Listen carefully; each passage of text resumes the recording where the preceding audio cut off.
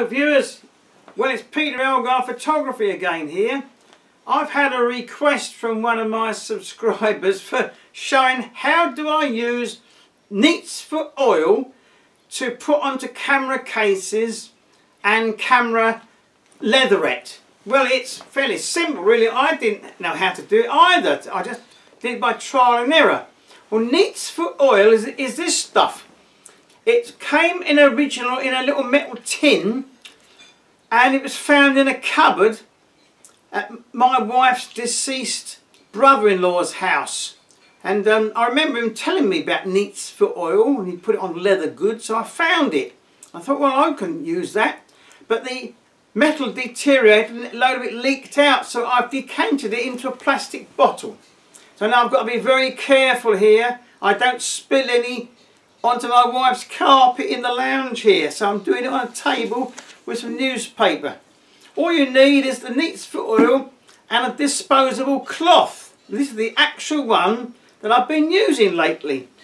This is my Olympus OM2, OM10 and the case that the subscriber saw and saw me talking about and how I put Neatsfoot oil on it and he said oh can I do a video about it?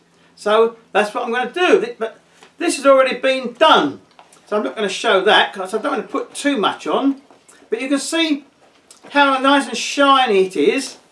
But I've got here, I've got a, a my Rolleiflex case. It has been done some years ago, but I, I can do a little bit again. My Rolleiflex 2.8F Everready case. Now, I do the cases first before I do the cameras. Now, what you do, you take, them, take up your Neatsfoot oil and you put a minute amount onto your disposable cloth. A minute amount, yeah, about that much. Now, I'm going to put the lid on in case it gets knocked over onto the carpet.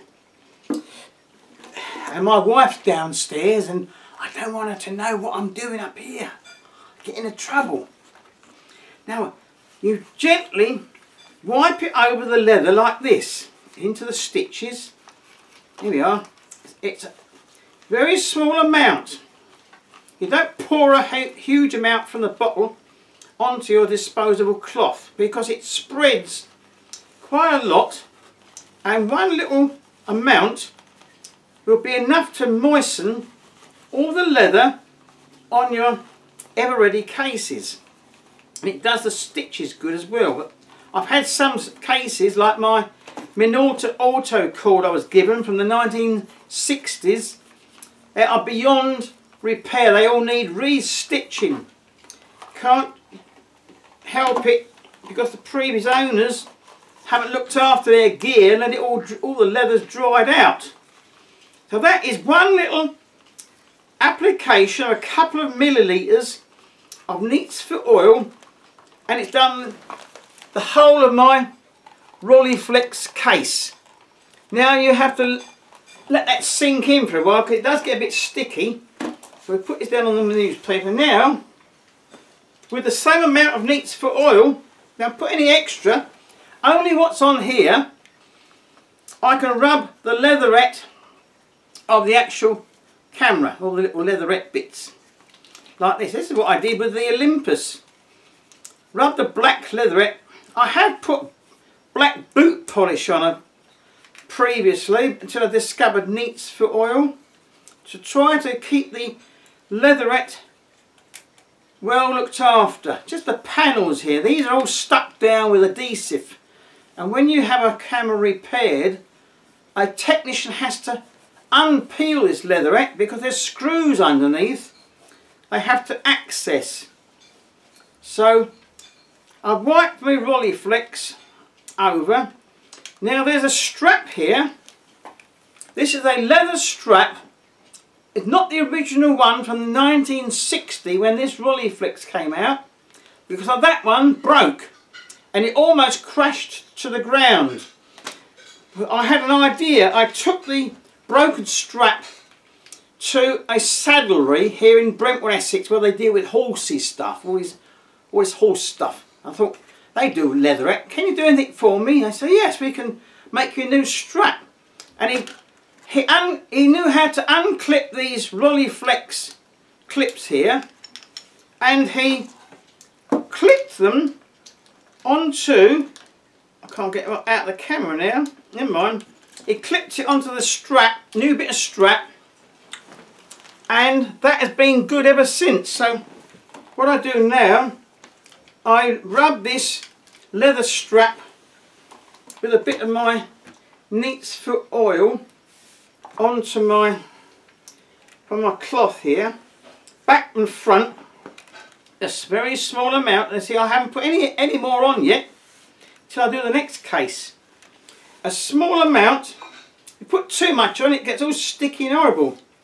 But that is just lubricating that strap. And that was put on oh must be oh, 10 years ago. I mean I had the camera about 30 odd years and it came out in 1960 so how old is the leather? This is the original case. How old is the leather of that if you're good at maths? 2017 and it's 1960 that was made how many years old is that now I've got a black one here this is a Pentax KX I was given by a camera club member he sent it off for sale and they sent it back as not working, unsellable. So he said, would you like it? See what you can do. So I've told this story before, so I thought I'll have a look.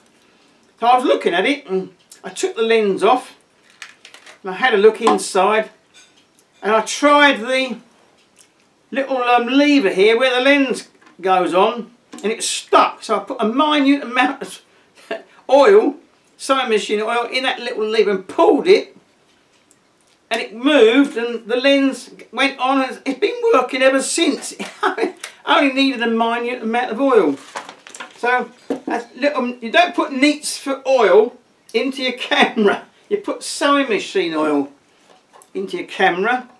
And that has a minute amount, but here we are, look, Neatsfoot oil again. A tiny little amount. Uh, I don't, I don't, I don't overdo it, so you mustn't pour it out, loads of it. It's too much. It lasts for ages and ages. And then there's rub it onto your black leather case. If you can get the strap off, this here thing off. Oh, here we are. Look, that would stop it from going rotten. Probably it's not real leather. A lot of these cases are fake leather on some sort of weird cloth cover. My wife's Nikon case has gone all rotten that was 1975, her Nikon. It's not real leather. And uh, not much you can do. It goes all white underneath. And, and it's um, not not salvageable. Was it words? Salvageable. But this is, looks like it could be leather. So we're doing the black leather case of my Pentax KX. Now this came out in 1975. So the black leather case is as old as that as well. Now that's coming up nicely. See a minute amount, it spreads. And if you've got hot hands, as I have, I always suffer from hot hands, it melts it and it spreads easily. Don't try and do it in the freezing weather because your oil won't spread. But, um, yeah, well, that's come up well. Now, a minute amount left over on the cloth I just give the leatherette of the camera a little touch like that. The leather panels on the back here, like that. Rub it into the leatherette panels, and um, you don't have to look, make it until it's sort of wet looking. It's too much. Just just the amount that's on the cloth. There. That's about how I do it really. I mean it's easy. Just follow my instruction with a disposable cloth and I hope you'll get some success in doing your own leather covers. Thank you for watching.